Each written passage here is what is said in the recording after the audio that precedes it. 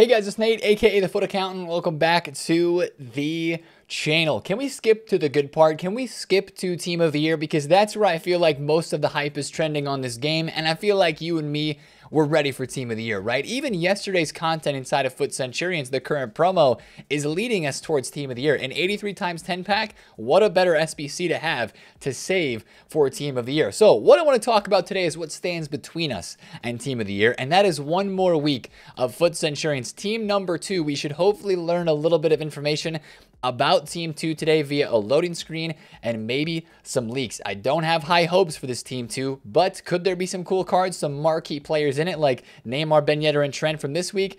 Potentially. So we'll talk about that, of course, and how the market continues to be pretty stagnant, except for one of the leaks that we do have, there have been a lot of market movements around Premier League and English players for a Declan Rice SBC that maybe is today. So we'll talk about that. And also EA's doing some huge eight hour maintenance. So as you're watching this video, you may not even be able to log into FIFA right now. They're shutting the game down for a while. So we'll talk about that and what that could mean for the game today as well on a Thursday in FIFA 23. If you're excited for the video, hit the thumbs up, subscribe if you're new. Let's talk about Centurions team too because we have like no information. It honestly feels a lot like last week where we were kind of coming into the first week of the Centurions promo like what in the world are we going to see? We had no leaks. We had a loading screen with the car de design, and that was it. What my hope is with the second week of Centurions is they can check some players off the list that we have been wanting since the beginning, right? EA, add these players in. I'm not expecting a big team of amazing players because, again, this FUT Centurions promo is just kind of a filler promo before Team of the Year anyway, so I don't expect it to be any more hype than this Team 1, but inside of this Team 1, we did have some marquee key players, Neymar, Ben Yedder, Trent Alexander-Arnold. All we're asking for is some of those players that we dreamed about since the promo and the idea of this promo started. Marco Reus, Zlatan Ibrahimovic, right? This card specifically. Maybe a David De Gea, right? There's plenty of other options out there that people would really like to see in Centurions promo. Hopefully we get a couple really cool cards and we at least get a first knowledge of those cards today. I really do feel like a part of today's content on Thursday will be a loading screen showing us three more cards. Like that's a normal Thursday thing. I feel like that's a pretty uh, not too crazy thing to expect from EA today. And then, of course, along with that, we should start to get some leaks about what cards are going to be in this Centurions promo, right? Like we talked about from yesterday's content inside of this team one of Centurions, um, the content that we got with the 83 times 10 upgrade is pushing us towards team of the year. And it's like, that's what this promo, if we remember it kind of what its source is and what its reasoning is to be in the game, it's kind of just filler content. We had great winter wildcards.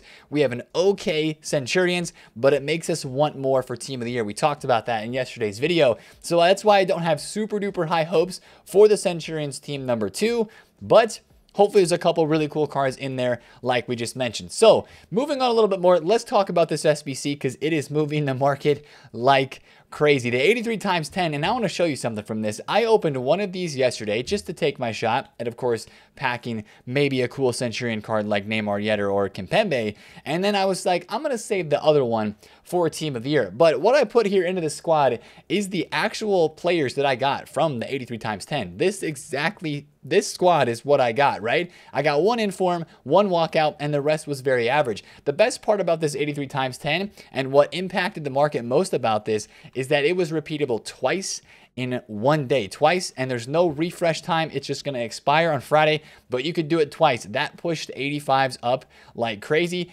And the fact that you get 10 players back in this SBC, it's very craftable. I think that this SBC is actually pretty good value. I know it's a gamble, right? You can see I didn't get a very good pack, but I put the pack that I got, I can slap that right back in. And actually all I have to do is add an 81 and I can take out like 84.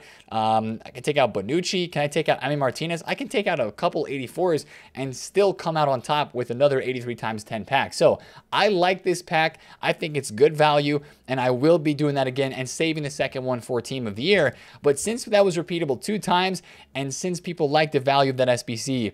Fodder went crazy. 50,000 coins to do this. Again, you save that for Team of the Year. That's a really good pack for Team of the Year with all the special cards. When the full Team of the Year is out, when the honorable mentions are in, there's really high potential to get some really special cards in that pack. That's what a lot of people are saving for. And of course, that made fodder go crazy. 85s, right? This was unexpected. We knew and we talked about yesterday that there could be another sort of gamble pack, but you didn't expect this to happen, right? And the reason the 85s went up as much as they did is because anytime you see this, this is the magic kind of like I don't know, it's like the magic equation for fodder this year. EA's been doing this, right? They do a minimum rating, but then they require two or three players of that rating or above. That makes that whatever that specific rating is absolutely explode. And it was 85. You can't guess this stuff. You can't like predict this stuff that often. It's just kind of random. And 85s have gone bananas. A lot of them are almost extinct, right? 15,000 coins for 85s. They're basically the same price as 86s. It's even made 86 rated cards go up in value because 85s went extinct around 14 to 15K, where a lot of them have their price caps set.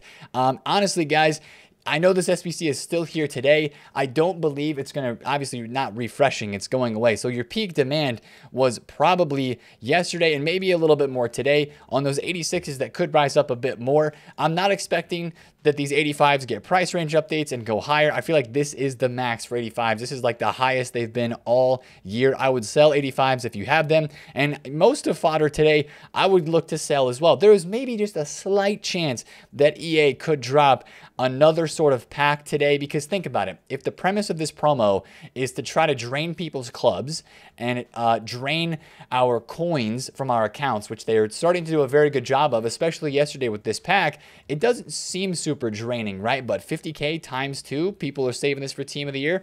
That's 100,000 coins. 85 is going up like crazy. That just, all that stuff, little by little, has a big effect on the market. Could they do like an 84 plus upgrade or an 85 times three? I think something along those lines is possible to, for today. Slight chance, but possible. But still, I think if I were most of you, if I had any 85s, 86s, or even that higher tier fodder, I would look to sell because what we have again coming this weekend is more weekend league rewards with tradable supply and more lightning rounds and just supply in general. I mean, we have a Neymar, we have a Ben Yedder, and we have a Kimpembe in this in this Centurions promo.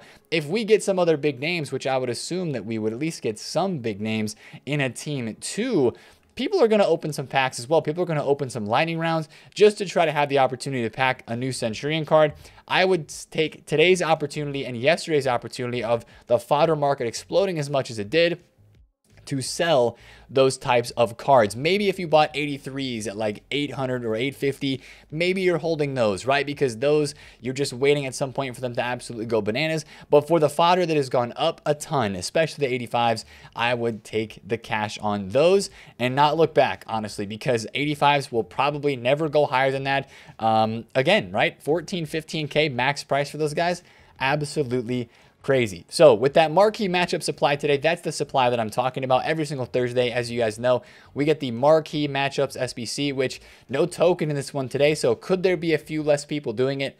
maybe. But marquee matchups is something that people do every single week to try to have a chance to pack promo cards, of course, or save these maybe for a team of the year as well. This always brings supply to the market on Thursdays, and that's something that we almost always talk about on Thursday. So a bit of a, a, bit of a drop on the fodder market today because of that supply.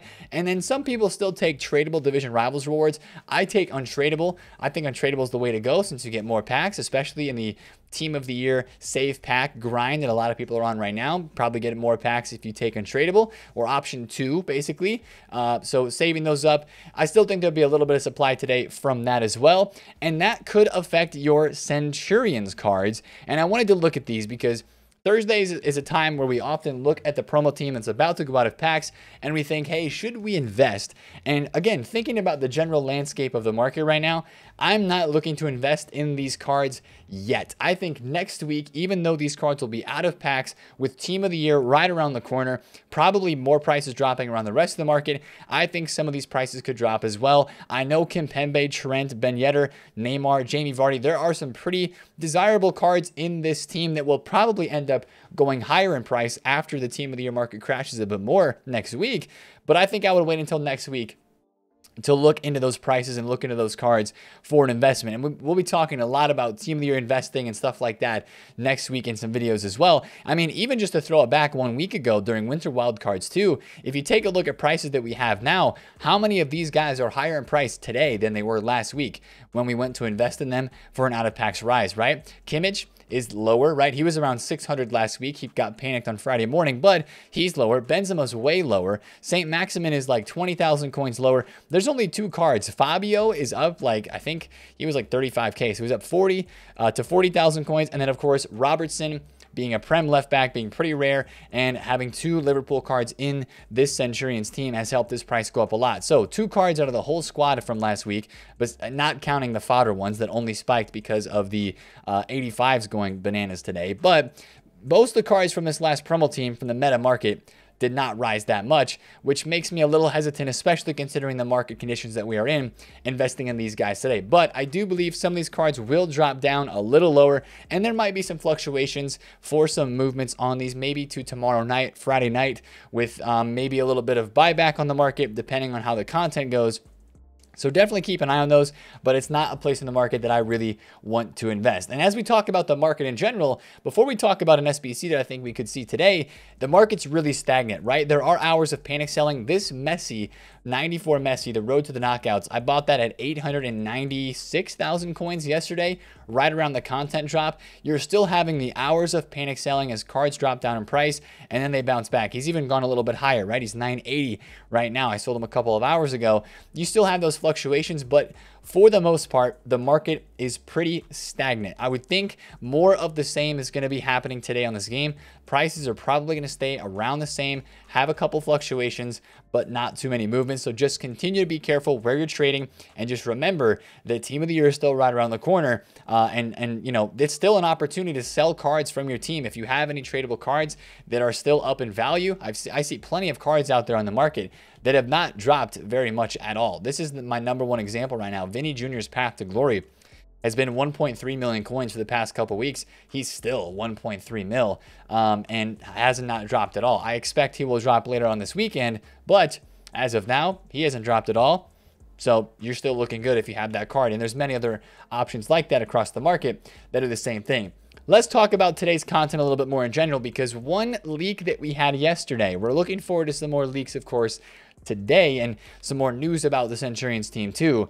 But this might be an SBC that we see today on the game. I thought this was going to be dropped yesterday because recently, um, when Sheriff has been tweeting out these cards as stats expected on SBC specifically, like the Raul Garcia earlier in the week, the SBC came like that same day. So we tweeted this yesterday before content. I was like, okay, this might be our SBC, but it in fact was not. So since the stats are still expected and Thursdays are days where we've gotten player SBCs pretty commonly in promos in the past, this might be our SBC today and it's already impacted the market. I'm sure a lot of you guys saw this, but West Ham links, specifically Thilo Kehrer and Lucas Paqueta, popped off yesterday when this card was leaked. Why is there so much hype around a Declan Rice? Well, Declan Rice does not have any promo cards yet this year, I think, unless he's got an inform or something, and he's just kind of a big name.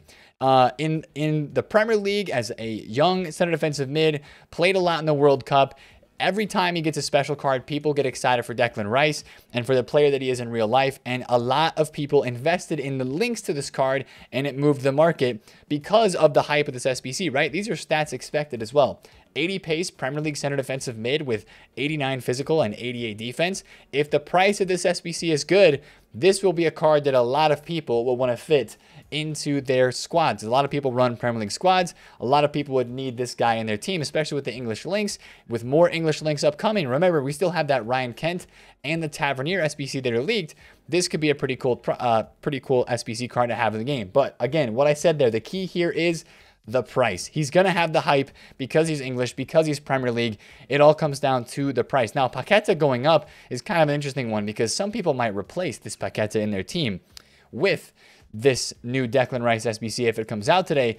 But other cards that might take a hit uh, because of this, maybe Gold Kanté. I wouldn't expect the 91 Kanté, even though some people might say, oh, wow, Nate, look at the 91 Kanté compared to this Declan Rice. They're pretty similar cards, both 80 pace. Declan Rice has better physical. It's Kanté. It's not really comparable. But some other Premier League center defensive mids that may take a hit in price. This is Zakaria, right? This is regarded as one of the best um, defensive midfielders in the Premier League.